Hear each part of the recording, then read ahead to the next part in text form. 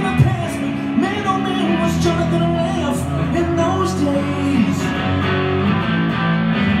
Apparently he was my very best friend. We spent long summer days wishing they would live forever. But I only know from photographs and a gap every now and again. Down